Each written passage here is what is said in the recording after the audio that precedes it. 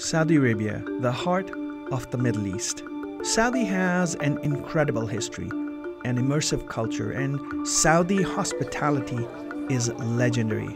Today, Saudi is also known as the world's largest oil exporter, and it's also home to the world's largest green hydrogen project, and now home to the world's first cognitive city. Saudi Arabia is headed towards a new direction, a new tomorrow, a new future that's powered by technology. In the digital kingdom, I will tell the story of Saudi Arabia's vision of entering a new age, the age of a technology driven future. From the world's largest smart city developments to changing the focus of government to utilize data to drive the economy, the Saudi economic landscape is rapidly shifting towards technology and innovation. And what is apparent is with its incredible talent pool, future opportunities, and focus on technology are together going to create a new. Join me, Ian Khan, in my journey of finding out what the future holds for Saudi Arabia as I speak with leading experts in government, the private sector, global technology companies, and others to learn about the evolution of the digital kingdom.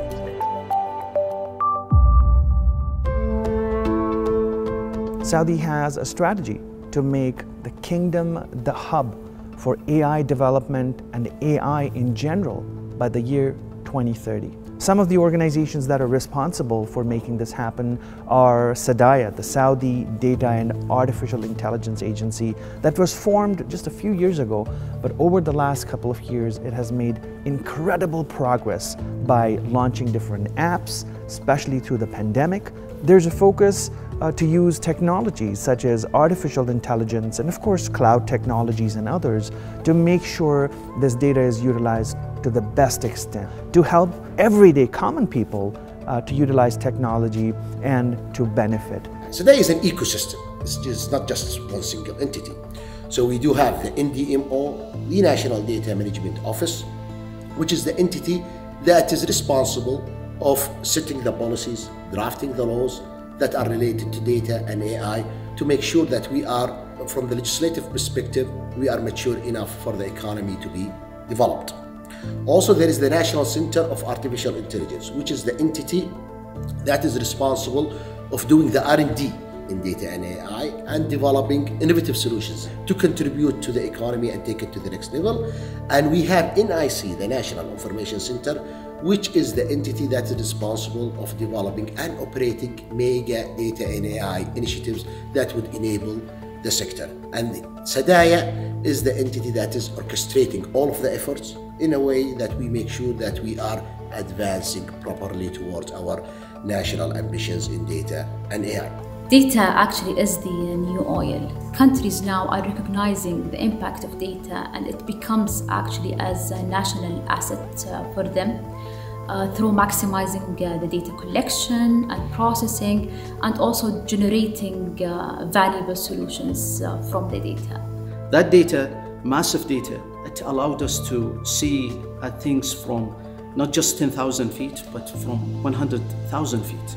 We can do all the data fusion that is possible to be done.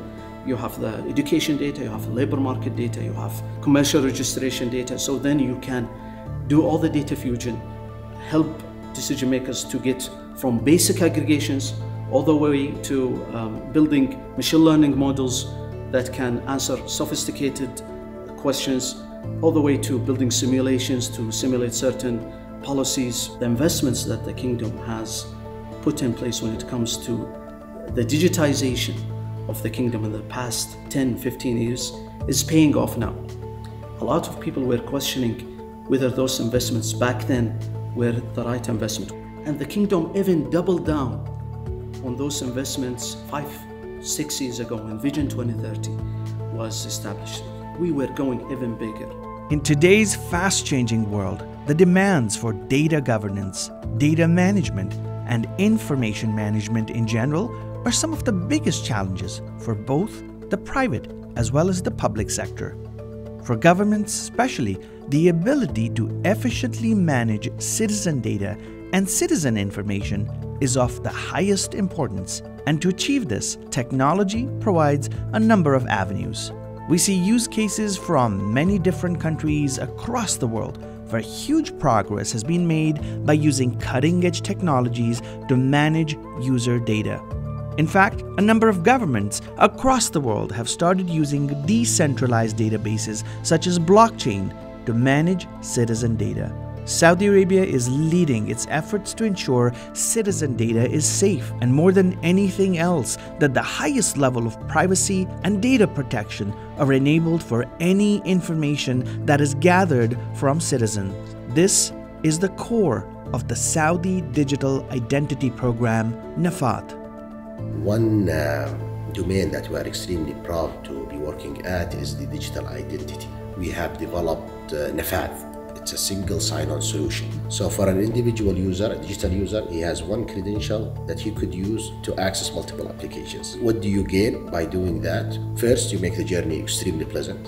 And then for the applications, they don't really have to incur additional costs because they really don't have to keep and maintain identity access management solutions. Now we have more than 17 million users subscribing to our service and we have about more than 300 entities also subscribing to our service. So for those 17 million users, they can access about more than 300 applications using the same credentials. All government entities plus the private sector are deeply committed to create the digitization journey, build the infrastructure. There are multiple layers in this. So NIC SDAIA is actually touching across all these layers, starting from the digital infrastructure that enables innovators by which we can monetize this data, benefit out of this data, create all these kind of innovative experiences. This means we need to focus on data quality. If this data is not a good quality, we'll not achieve the goal at the end. In addition to that, SMEs and entrepreneurs are not only looking for open data, but we should focus on other mechanisms that help support them to get high quality data and utilize this data to come up with some products or services that help support society as a whole. Data undoubtedly plays a critical role in everything that happens in our world today. Even traffic lights and roads generate data. And the progress that Saudi Arabia has made and continues to make in this domain is extremely impressive. Saudi also handles a very critical part of a massive amount of data management in a short duration of time in the year, and that is during the journey of Hajj, the Islamic pilgrimage that takes place every year in Saudi Arabia. Over 20 million Muslims from across the world come to Mecca and managing data and information, and that volume and veracity is a task in its own. This is just one example of how seriously Saudi Arabia is taking information and data management and the whole idea of digital identity very seriously.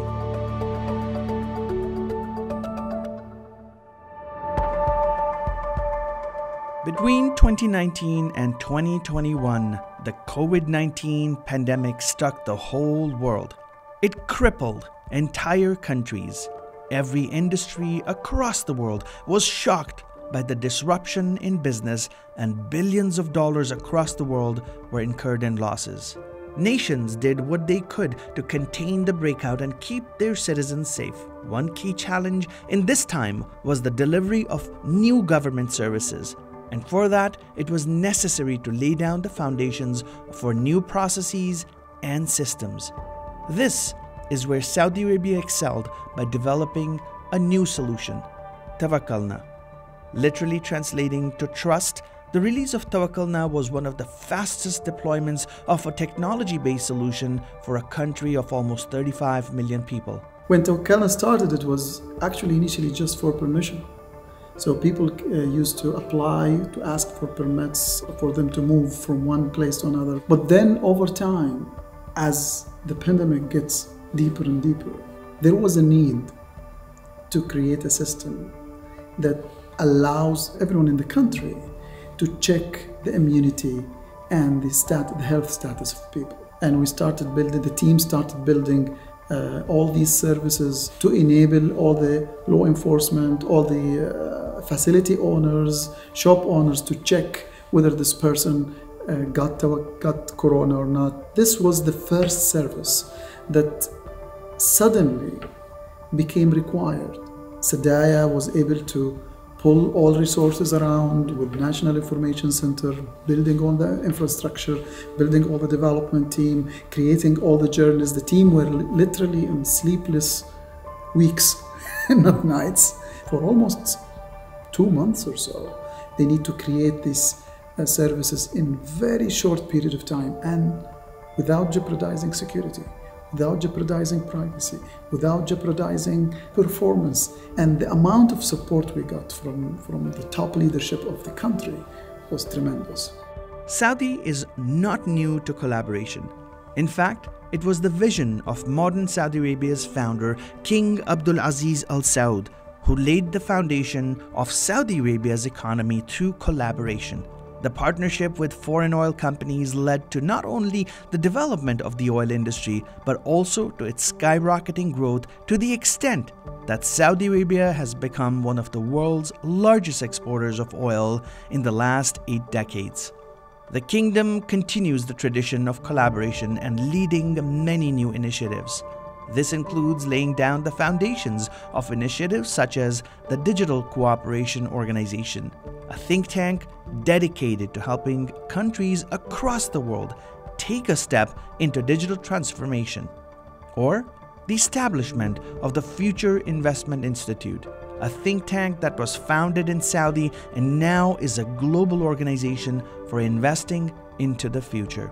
Saudi is now home to new initiatives in the areas of carbon exchange, manufacturing, agri tech, technology, climate change, and more. Much of this is attributed to the initiative known as Vision 2030. When I visit countries that have great ambition, I often ask them, are you positioning yourself not to be good at what you're doing, which you can be, but to lead others, to create models for other communities and other countries. This nation has decided that they want to be innovation leaders, that they want to be able to create new ideas and new solutions that solve problems in the United States or around this region or into Africa. And it's clear to me, looking around, that if the existing trajectory continues, this will be a formidable force globally in just a few years. If you read the Vision 2030, you will find a lot of things to, to be achieved on the logistics side, on the tourism side, healthcare, education, and you name it. In order for the government to be able to achieve them, you have to have a digital, a strong, robust digital foundation behind it. Listen, we cannot build enough data centers quick enough, okay? The, the, the transformation is massive. The farm we built here is in, in partnership with a company called NADEC, a National Agriculture Development Company, a traditional dairy and juices and other company that is really trying to innovate and, and, and tech up, if you will, and join the new economy, right? What's great is we saw NADEC investing in a 30 megawatt solar power farm. Well, what we did is partnered on their land. We're building inside of what used to be alfalfa crop pivots, wasting a lot of water, but they have the water infrastructure. And now we have a, a huge scale farm that'll be producing 140 tons a week of premium tomatoes starting in March. 140 tons a week, significant capacity of 16 varieties of tomatoes, half of which have never been tried in the region. They're novel products. We're, we're changing the human experience in the, in the platter, but also at a much lower cost than imports, very little water consumption, right? And it's all made possible by two partners coming together, a traditional company with infrastructure and us partnering with that infrastructure with our, our capabilities. When it comes to collaborators, definitely we get to collaborate with the leading companies in data, artificial intelligence. But yes, I think you need to be extremely selective in what could offer you a better solution. This is very important. And when it comes to benchmarking, usually when we get to develop our strategies, whether the business strategy or the technical strategy or the cybersecurity uh, strategy, we really work with the best leading consulting firms to make sure that we get to benchmark ourselves and to properly set our ambitions and our goals and to do to start from where others ended not from where others started and our vision is uh, to establish the kingdom as a global leader in the elite lead of the data and AI driven economy. So, here in Riyadh, the digital city, we have all the government entities, uh, all the offices. And what you see here is a different kind of energy when it comes to collaboration, when it comes to uh, meeting people. Everything is around here. So it's been incredible meeting different people from different government entities uh, and talking to them about the actual change uh, that is happening here in Saudi Arabia.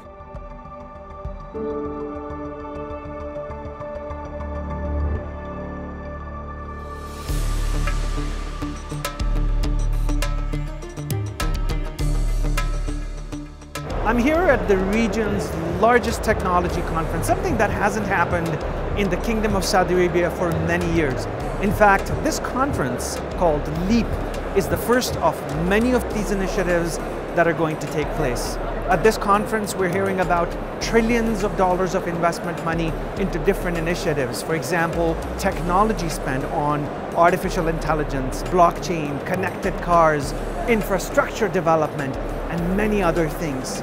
Saudi Arabia is at a critical point right now because it's focusing more on the data economy rather than what it's been doing for the past eight, ten decades is focused on oil.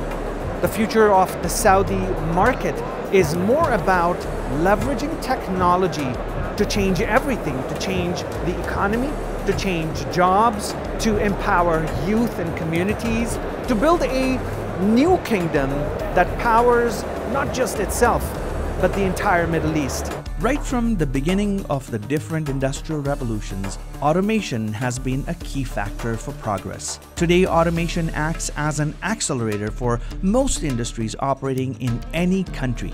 Industrial automation is highly used in Saudi Arabia due to its focus on industries such as the energy industry and its various aspects, such as upstream and downstream oil, refining, petrochemicals, electricity generation, and manufacturing industries.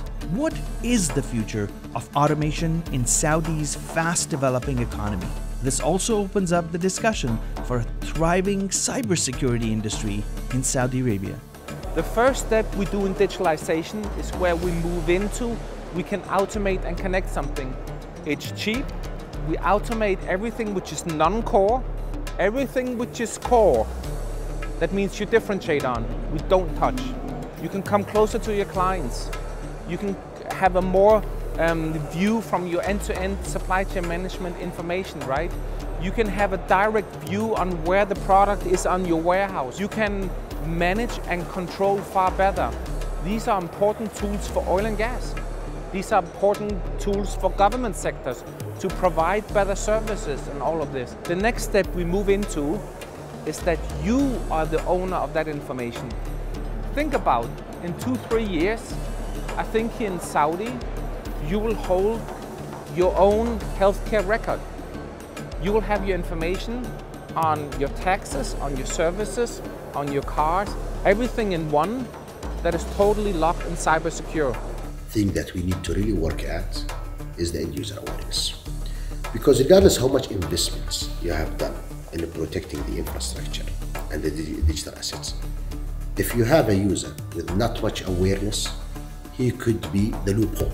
And many attacks come through the end users, not through the infrastructure and the protected uh, infrastructure. In today's fast growing Saudi economy, there are multiple hundreds of billions of dollars of investment being put into infrastructure, upskilling talent, digitalization, and other critical aspects of making Saudi a global economic leader. Today, the kingdom has multiple venture funds that are creating hundreds of startups and solving some of the biggest problems in the world. The Saudis are putting their money where their mouth is. You've got billions of dollars of investment fund going into entrepreneurship, accelerators and incubators. You've got giga projects happening. We're talking about NEOM, which has to be one of the biggest projects or construction projects in the world, in the history of the world. $500 billion financed city and area of the future. So clearly the time is right to bring the world's most emerging technologies, futurists, impactful people working in tech to Saudi Arabia so that they can be part of this journey and feed into it. One element we see here, they embrace digitalization like this is a normal part of their gene, right? It just turns on something for them. They're even excited about it. So everything is connected, everything is somehow sensed. The early evolution of smart cities is now turning on the development of cognitive cities. Urban development is fast changing the way we live, study, work, and travel. Saudi today has embarked on multiple mega infrastructure projects such as NEOM, The Line, Red Sea Development, and others. We are a planet now that where over half of humanity lives in cities, and that's just going to grow over the next few years. This is going to be the century of cities. And all the big issues, whether it's transportation or energy or the climate emergency, we've got to solve these within cities. Because this is not just a topic about our urban centers, this is a topic about the future of the planet. So faced with some great challenges and all the promise that cities bring, we've got to bring new innovation, new ideas, new technologies to apply against these big problems. And you know, while we can do the right thing, we ought to do good, we can also do well. We can build businesses, we can build new innovation that creates new solutions for communities all over the world. Look, at the end of the day, smart cities is about quality of life. It's about a better human experience for everybody.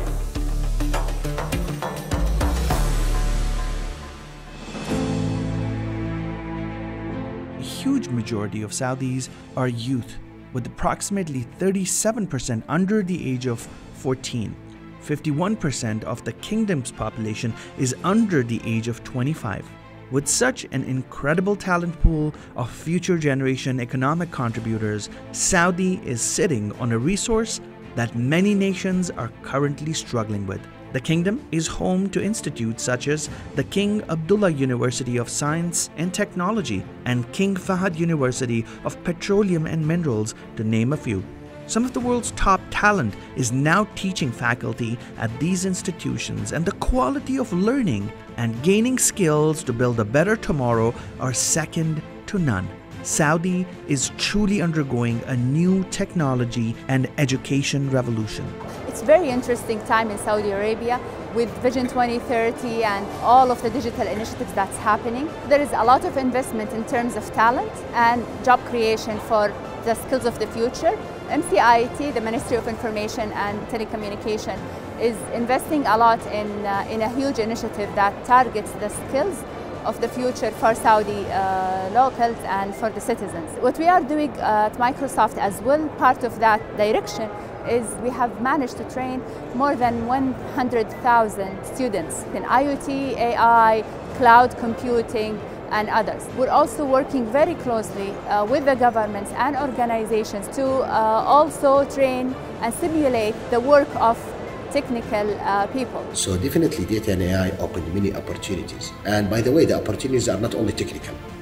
There is also the opportunities related to governance and policies. By enhancing the maturity or the legislative maturity in data and artificial intelligence, you will open more opportunities for people to work in this field like having lawyers in data and artificial intelligence, having legal experts in data and artificial intelligence, policy experts. Are we doing really a, a good job when it comes to building those universities, choosing the disciplines that those universities should focus on? How can we make sure that those universities, the output of those universities, very much aligned with what the labor market needs. And so the idea is that we work with the Ministry of Education, we work with the Ministry of Human Resources and Social uh, Services to do such evaluation. And the results were, you know, very surprising to many. We enable those universities to, to um, use such insights to help them make uh, better uh, decisions when it comes to the investments that they will make. One of the characteristics of this great nation of the Kingdom of Saudi Arabia right now is that it has a very large and growing young population. And they have a chance to create a new future, to bring new ideas to the table. They need to create and be engaged in the type of future that they want. So that means expanding education to include things like software development, programming like we're seeing all over the world. This is already happening, of course. Giving as many children as possible access to the different tools that can enable them to be inspired, to understand things like science, technology, engineering, mathematics applied uh, to solve the great problems of a great nation. Countries want to create environments where the young population and the new working population don't feel like they have to look elsewhere for the great opportunities, that they are here at home. And that means investing in our kids, investing in their education, inspiring them, and really believing what they can do to create a, uh, a, a, prosperous future for this land. I'm quite used to going to tech events in different countries, and one of the most arresting things about Saudi is the fact that you have such a large proportion of female visitors to this event, and the tech industry in Saudi Arabia has 28% female participation at this moment in time, and that is an upwards trend and it's growing. That is leading, world leading in terms of other countries. Saudi today is headed towards the future with no stops. Perhaps the next few years will be a revelation for the rest of the world as Saudi doubles down on its technology investments, its focus on developing its talent pool, and potentially becoming a powerhouse of different industries and a hub in the Middle East. All of the sectors that we are working at, be it health, be it energy, can be definitely affected by data and artificial intelligence, even renewable energy. Uh, in fact, we are working now in the energy and the health sector, uh, trying to use data and AI techniques to advance those sectors. So we believe that data and AI could be key to many of our challenges. I can say openly, Saudi is serious about this. They have realized the need for economic diversification and for having the Saudi people participate both in the value creation and the value capture of technology and to improve the lives of, of, you know, Saudi consumers, Saudi market participants, etc. So people will see you know, the transformation and the economic growth of Saudi as a very real thing. It will entice them to commit to the region and to commit to the country, as we have. We're actively here. Our largest asset anywhere is built here because we acknowledge the size of the market. We see the opportunity. We found like-minded partners like in NADEC, and NADEC's partly owned by the Public Investment Fund, right, all the way up to the leadership here. There, you really see an appetite for change, and I think that excites people like me and entrepreneurs who want to make an impact and want to build something exciting. The Middle East is the new Europe, particularly when looking at the demographics of this region. And there's almost 500 million young people in the Middle East, you know, people under the age of 30. The promise and potential around this region is enormous and serious amounts of investment into getting this youth into technical jobs, STEM jobs, into technology.